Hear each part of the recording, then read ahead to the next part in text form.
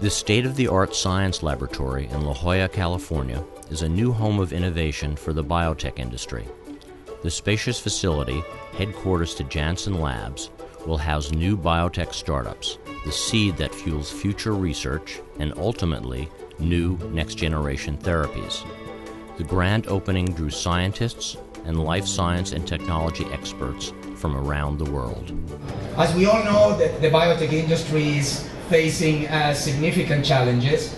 And, and for us as a pharmaceutical company or as a, as a biomedical company, the well-being of the, of the biotech industry is critical. Uh, we need a healthy biotech industry in able to be able to bring those innovative products to the, to the patients that need it and make a difference in patients' lives.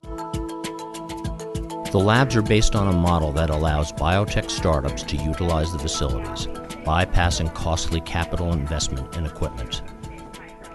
What we're seeing in this model, the ability to attract great scientists and their entrepreneurs, providing great resources, great space, and most importantly, for us to get out of your way. Biotech companies have the diversity of thinking, have the science, the entrepreneurship on really experimenting with new ideas, new products, uh, new science. This is an attempt to help reinvigorate and restart the biotechnology industry in its next version.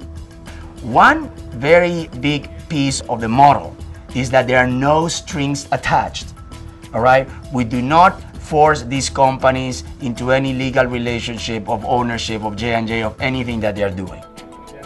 That innovative approach helps jumpstart the creative process, transforming the current R&D model to help innovative companies accelerate their discoveries. You look at a life science company before they even turn the lights on. They're spending millions of dollars on capital equipment, specialized infrastructure and facilities, on a specialized operations team.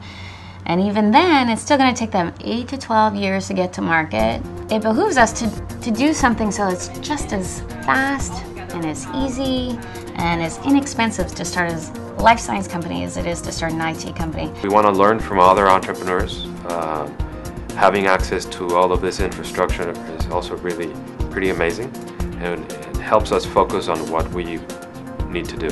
Fostering this diversity by setting up laboratories and enhancing people to take initiative is one of the ways we ultimately will come to new products for patients. And that's uh, why I'm so excited to, uh, to be part of this.